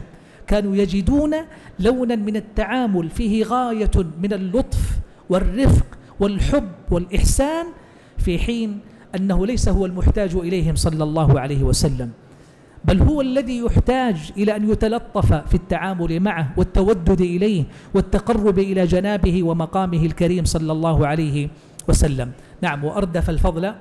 وأردف الفضل ابن عباس وكان رجلا حسن الشعر أبيض وسيما فلما دفع رسول الله صلى الله عليه وسلم مرت به ضعن يجرين. فطفق الفضل ينظر إليهن. وكان رجلا حسن الشعر أبيض وسيما. من هذا؟ فضل بن عباس. كان وسيما جميل الطلعة بهي النظرة حسن الشكل. قال فلما دفع رسول الله صلى الله عليه وسلم مرت به ضعن يجرين. ضعن جمع ضعين والمراد به المرأة فإنها تسمى ضعينة. وهن أيضا دافعات من مزدلفة إلى منن حاجات مع رسول الله صلى الله عليه وسلم. فأراد النبي عليه الصلاة والسلام أن يمنع بابا من أبواب الفتنة بين الفضل لجماله ووسامته وحسنه وبين النساء من حوله. قال فطفق الفضل ينظر إليهن. يعني لأنه في الطريق ولم يكن ينظر يقتحم حرمة بيت حاشا ولا خيمة امرأة حاشا لكنه في الطريق راكب فيمر بنساء تجرين في طريقهن وهو راكب وبصره يقع يمنة ويسرى على هؤلاء النسوة. قال فوضع رسول الله صلى الله عليه وسلم يده على وجه الفضل فحول الفضل وجهه إلى الشق الآخر ينظر. فحول رسول الله صلى الله عليه وسلم يده من الشق الآخر على وجه الفضل يصرف وجهه من الشق الآخر ينظر حتى أتى بطن محسر. هذا الصنيع يقول الفقهاء فيه عناية منه صلى الله عليه وسلم بالفتيات والنساء الضعينات ألا يفتن بالفضل في جماله ووسامته وحسنه. وألا يفتن الفضل فإنه جعل يصرف نظره يمنة ويسرى. طيب ولما صرف نظره يمنى إلى اليسرى لا تزال الضعينات ها هنا. ولما أعاده من اليسار إلى اليمين لكن الفرق بين نظرة تقع على غير تأمل واستدامة واستطالة نظر وبين نظر يقع مرة بعد مرة ولا مفر منه. ولا يأمر الإسلام بأن تغلق عينيك إذا كنت راكبا. غض البصر مطلوب والنبي صلى الله عليه وسلم بكل كمال النبوة وعظمتها أقام هذا الصنيع مع ابن عمه الفضل بن العباس وأيضا مع الصحابيات في حجهن مع رسول الله صلى الله عليه وسلم مبالغة في الحرص على أمته من أبواب الفتنة خصوصا في منسك عظيم يحتاج إلى استجماع قلب يقبل فيه العبد على طاعة ربه وذكره سبحانه وتعالى. قال حتى أتى. حتى أتى بطن محسر فحرك قليلا ثم بطن محسر واد وادي المحسر يقع في الحد بين مزدلفة ومنى والصحيح أنه ليس من منى وليس من مزدلفة بل هو برزخ بينهما. حتى أتى بطن محسر فحرك قليلا يعني استعجل في تحريك دابته قليلا. نعم. ثم سلك الطريق الوسطى التي تخرج على الجمرة الكبرى. الطريق الوسطى تفهم منها أن الطريق بين مزدلفة ومنى كان يمر بثلاث طرق. سلك منها النبي صلى الله عليه وسلم الطريق الوسطى والسبب أنها الطريق التي توصله إلى الجمرة الكبرى وهي جمرة العقبة. نعم. حتى أتى الجمرة التي عند الشجرة فرماها بسبع حصيات. حتى أتى الجمرة التي عند الشجرة. اليوم لا توجد هذه الشجرة لكن جمرة العقبة وجمرة العقبة في جمرات منى هي الأخيرة في الترتيب لمن قدم من طرف منى من بدايتها. فهي آخر الجمرات الثلاث للقادم من وسط منى وهي أولها من حد مكة. فمن جاء من مكة واجه جمرة العقبة أولا ومن كان من مزدلفة قادما أو من أطراف منى وداخلها تكون هي الأخيرة. فيوم العيد لا ترمى من الجمرات الثلاث إلا الأخيرة الكبرى جمرة العقبة بينما ترمى ثلاثتها أيام التشريق. قال رضي الله عنه حتى أتى الجمرة التي عند الشجرة فرماها بسبع حصيات. ما ذكر جابر في الحديث هنا رضي الله عنه؟ الحصيات هذه من أين جاء بها صلى الله عليه وسلم؟ وصح في الأحاديث الأخر أنها جمعت له صلى الله عليه وسلم من مزدلفة. فالسنة ليلة العيد لمن بات بالمزدلفة أن يجمع سبع حصيات لا أكثر لرمي جمرة العقبة يوم العيد. وباقي أيام التشريق من أين تؤخذ حصياتها؟ من أماكنها حيث يكون الحاج من منن أو من الطرقات أو من حيث يتيسر له ولو أوتي بها جاهزة فلا حرج.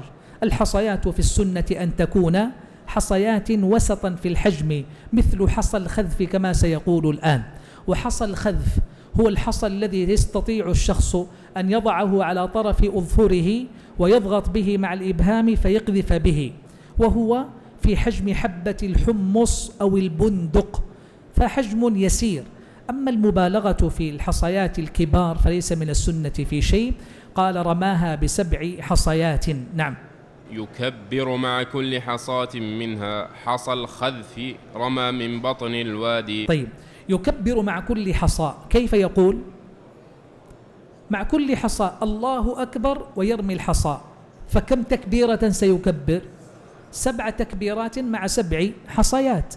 السنة أن يستمر الحاج في تلبيته بين عرفة ومزدلفة بين مزدلفة ومنى في الطريق يوم العيد.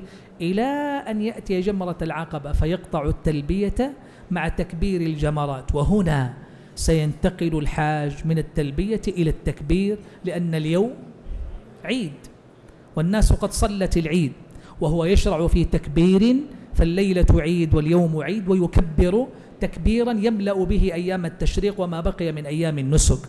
قال يكبر مع كل حصاة منها حصى الخذف. وهو الذي يوضع بين السبابتين فيرمى. وحصى الخذف بهذا الحجم هو من السنة فليس من المشروع المبالغة أو الغلو. قال عليه الصلاة والسلام بأمثال هؤلاء فرموا وإياكم والغلو. فنهى عليه الصلاة والسلام. واليوم من رأى جسر الجمرات والسعة التي هيئت لها بفضل الله للحجاج علم أن المسألة لا تحتاج إلى مزاحمة ولا مدافعة. أربعة طوابق كل طابق منها مد البصر يسع ما شاء الله من الحجيج في اللحظة الواحدة وعند كل جمرة من الجمرات شاخص بجدار يمتد نحو أربعة عشر مترا محاط بحوض متسع يرمى من جميع الجوانب والجهات. فعندئذ يعلم الحاج أن المطلوب رمي الحصيات حتى تقع في الحوض سواء أصابت الشاخص أم لم تصبه. ليس المطلوب أن تقذف الجدار الذي يقع وسط الحوض. المطلوب إيقاع الحصى داخل الحوض. فلا حاجة إلى التعجل والرمي من بعيد. كما يفعل بعض الناس خوفا إذا أقبل ورأى جموع الحجيج فتهيب فخاف من الدخول فرمى من بعد. فإذا رمى من بعد ربما وقع في أمرين. الأول ألا تقع الحصى داخل المرمى ومثل هذا لا يحتسب في الرمي. والآخر وهو أشد من الأول ربما أصاب الحذى أذى لإخوانه فوقع في رأس أحدهم أو في عينه.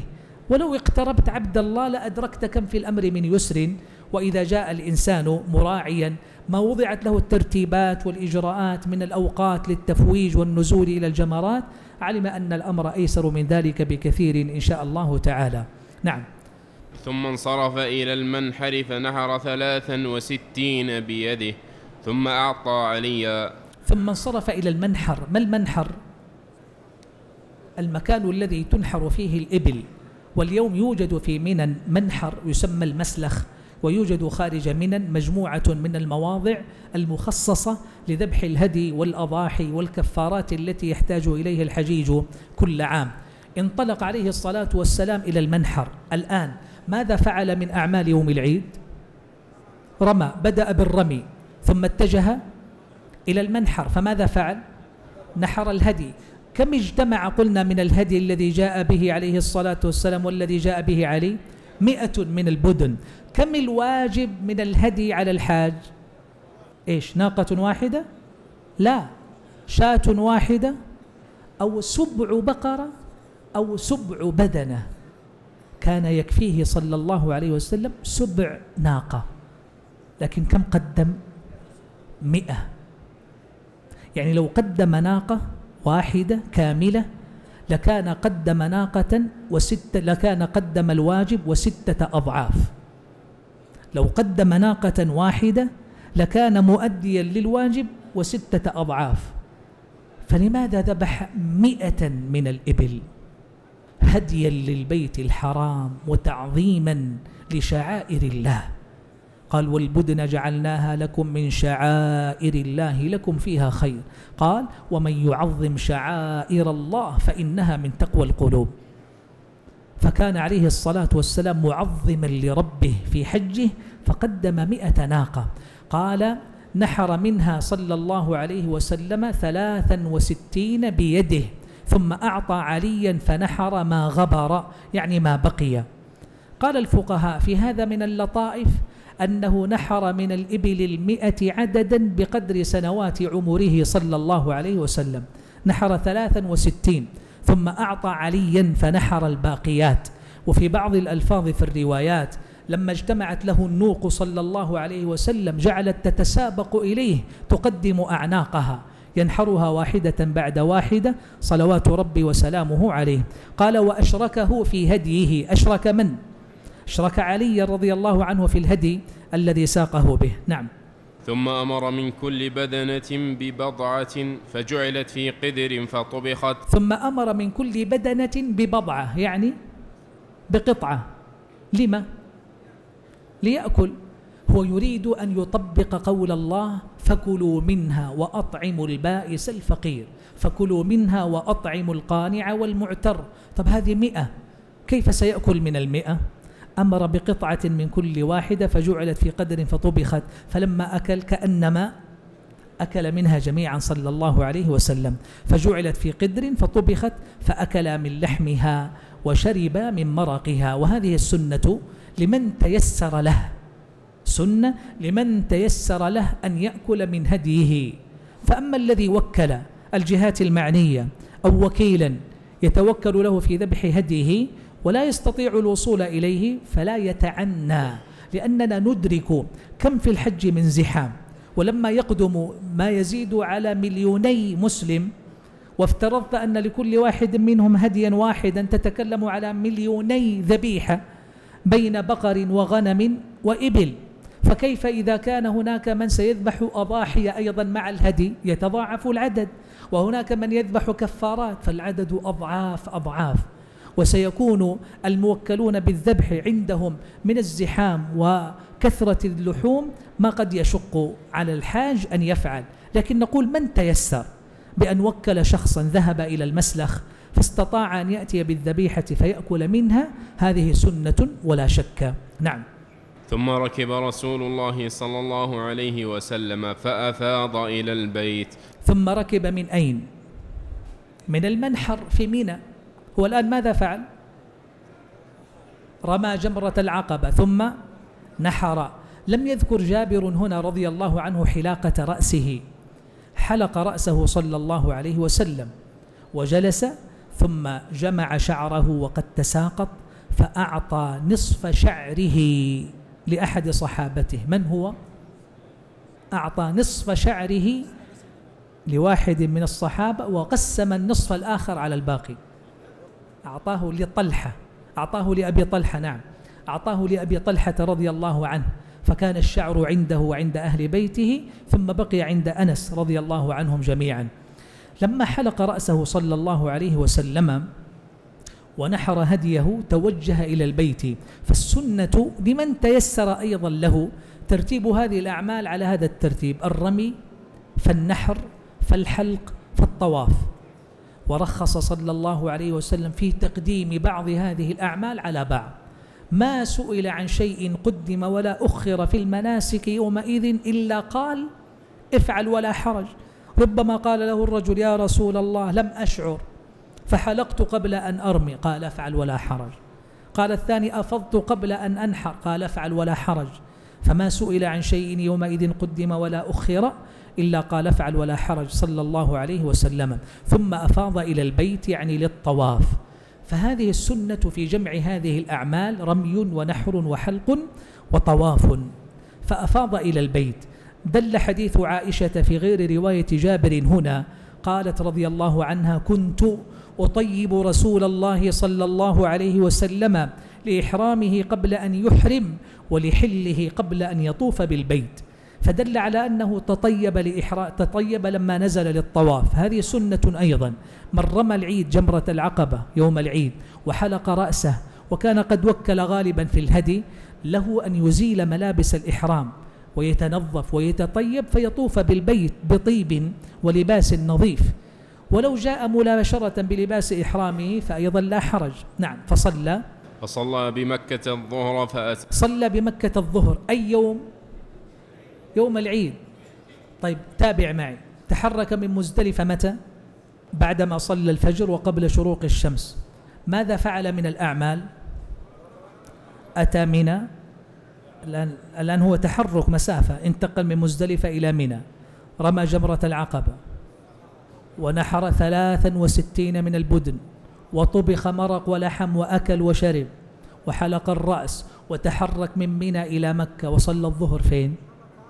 هذا على ماذا يدل؟ على مبادرة بأعمال الحج يوم الحج الأكبر ولهذا سمي يوم الحج الأكبر يوم النحر لاجتماع أمهات أعمال الحج فيه وجل الواجبات أيضا فيه. وانتقل عليه الصلاة والسلام فصلى الظهر بمكة. هكذا يقول ابن, عباء ابن جابر فصلى بمكة الظهر. في صحيح مسلم من حديث ابن عمر قال صلى الظهر بمنى وهذا أعجب. يعني انتهى وطاف ورجع إلى منى وصلى الظهر هناك. وللعلماء بين هذين الحديثين مواقف. هذان حديثان ولم يحج إلا مرة واحدة صلى الله عليه وسلم. فإما أن تقول صلى الظهر بمكة أو تقول صلى الظهر بمنى. وكلا الحديثين صحيح أخرجهما مسلم. ما تستطيع تقول أحد الحديثين ضعيف. فمن العلماء من رجح حديث جابر وقال بل صلى الظهر بمكة وحديث ابن عمر وهم. ومنهم من رجح حديث ابن عمر واعتبر هذه الجملة في حديث جابر وهما. ومنهم من صحح الحديثين وقال بل صلى رسول الله صلى الله عليه وسلم الظهر بمكة لأهل مكة ثم عاد إلى منى فصلى الظهر بهم لأهل منى لمن كان هناك. وهي مسالك لمحاولة الجمع بين هذين الحديثين. نعم. فأتى بني عبد المطلب يسقون على زمزم فقال انزعوا بني عبد المطلب فلولا أن يغلبكم الناس على سقايتكم لنزعت معكم فناولوه دلوا فشرب منه. ثم أتى بني عبد المطلب. أتى بني عمومته صلى الله عليه وسلم وهم يسقون على زمزم. وهذه من الوظائف التي كانت قريش وزعتها على قبائلها في شرف البيت الحرام وخدمته. فمن قبائل قريش من تولى سدانة الكعبة ومن تولى حجابتها ومن تولى السقاية ومن تولى الرفادة. وعبد المطلب لما كان سيد قومه وهو جد رسول الله صلى الله عليه وسلم كان له الشرف والسؤدد. فبقي في بنيه شرف السقاية. ما شرف السقاية؟ يقفون على بئر زمزم يستقون بالدلاء يسقون الحجيج يتشرفون بهذا الدور بخدمة الحجيج. وبنو عبد المطلب بنو عمومته صلى الله عليه وسلم أعمامه وبنو أعمامه. ولذلك فإن العباس لما حج استأذن النبي صلى الله عليه وسلم أيام التشريق ألا يبيت بميناء من أجل سقاية الحجيج في الحرم يسقيهم زمزم فرخص له صلى الله عليه وسلم. هذا شرف. فترك المبيت وبقي في سقي الحجيج. قال أتى بني عبد المطلب يسقون على زمزم. في رواية أخرى في الصحيح جاء صلى الله عليه وسلم إلى زمزم ووجد العباس عمه وأولاده حول البئر فطلب دلوا يشرب. فقال العباس لابنه انطلق إلى أمك فاطلب منها دلوا. عندهم في البيت زمزم نظيف محفوظ وربما كان مطيبا. فأراد أن يسقي النبي صلى الله عليه وسلم من الذي عنده في البيت. قال اسقني. فاستعجل العباس ولده قال انطلق إلى البيت فأتي بزمزم من أمك من هناك. قال اسقني. أصر عليه الصلاة والسلام أن يشرب من الدلو من فم البئر فناولوه دلوا فشرب.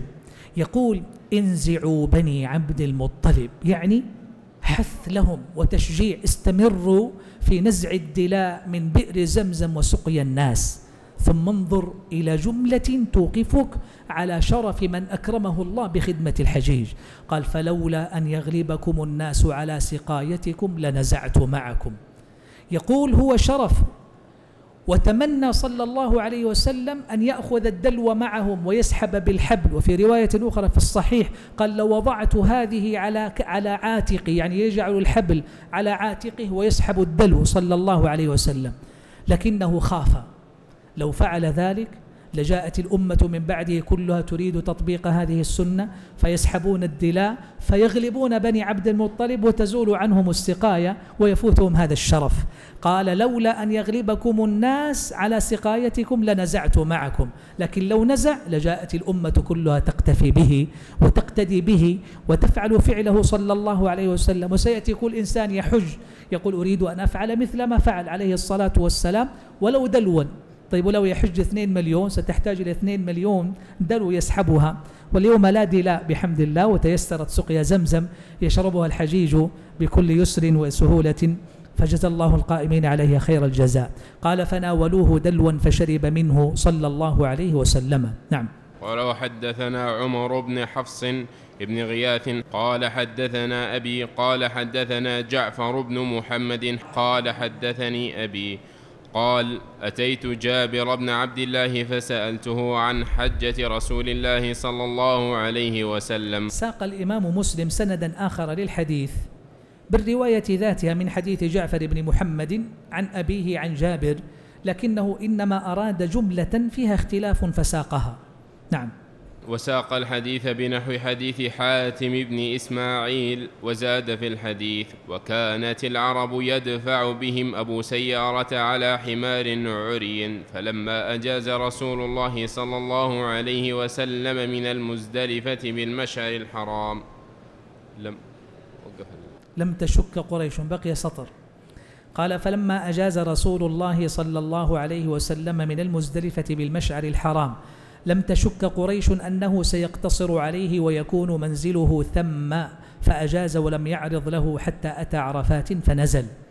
أتى الإمام مسلم رحمه الله بهذه القطعة من طريقه الآخر في روايته لهذا الحديث لأجل هذه الجملة. قال وزاد في الحديث وكانت العرب يدفع بهم أبو سيارة على حمار عري من أبو سيارة؟ أحد من كان يقود قوافل الحجيج لقريش قبل الإسلام. واسمه عمير بن الأعزل. قال وكانت العرب يدفع بهم أبو سيارة على حمار عري والحمار العري والفرس العري التي لا سرج لها ولا شيء على ظهرها. قال فلما أجاز رسول الله صلى الله عليه وسلم من المزدلفة بالمشعر الحرام لم تشك قريش أنه سيقتصر عليه يعني أنه سيقف بالمزدلفة ويكون منزله ثم فأجاز ولم يعرض له حتى أتى عرفات فنزل. تم حديث جابر بن عبد الله رضي الله عنهما الذي ساقه الإمام مسلم رحمة الله عليه في صحيحه في صفة حج رسول الله صلى الله عليه وآله وسلم. وتم لنا بحمد الله تعالى في هذه المجالس الثلاثة ما كان مقصودا الوقوف عليه من جمل الفوائد ورؤوس المسائل وإلا فهي كثيرة جمة غفيرة تقدم في أول مجلس ذكر عناية العلماء بهذا الحديث وبيان ما فيه من الفضل. وصل اللهم وسلم وبارك على عبدك ورسولك نبينا محمد وعلى آله وصحبه أجمعين والحمد لله رب العالمين.